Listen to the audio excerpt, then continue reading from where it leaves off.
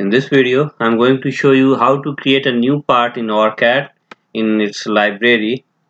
We'll create a new a library file and create a new part into it, although you can use an existing library as well and then create a new part into it. So usually what you do is you create separate libraries for each of your different sections, for example, connector, ICs and discrete components, so on and so forth. So I created a new part. It has its path somewhere here but you can save it at any place.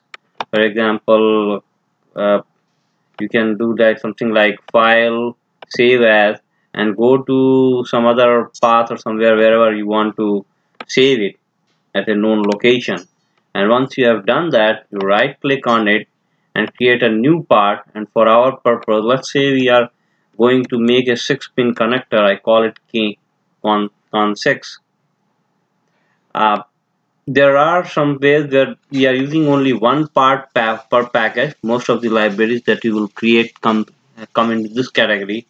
But if you have a heterogeneous part for example an op-amp with multiple parts into it each having different or section or maybe a very big IC that is separate part then you can use the parts per package and create a heterogeneous part. So click OK it comes up with a square like this. Now we want to extend it something like this. I drag the left mouse button and then drag it to whatever way shape we want. The next thing we need to do is place pins. I click pin and then I give it a number. Let's say pin 1 and then I need to give a unique number that is starting from 1 I did done and then I I can move and click it then uh, I do repeat the same process again again pin let's say pin 2 number 2 right here.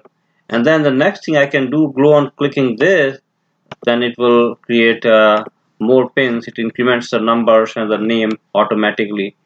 Once I have done that I can also double click any pin and I can edit it. For example here I can give VCC and this one I can do uh, say ground once I have done that I can click on this rectangle dotted rectangle and reshape it the way we want it. Drag it and something like that. We can we may also like to place a rectangle around it. Something like this here. Look that's all we need to do. Uh, we finally can save this using the save button. And this part if you see look at it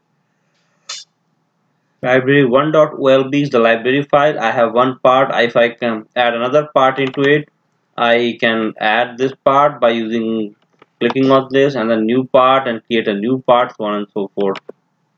So that's how you create a your part. Uh, you will need to make this library available to the design file if you want to use any part into this. Hope that helps you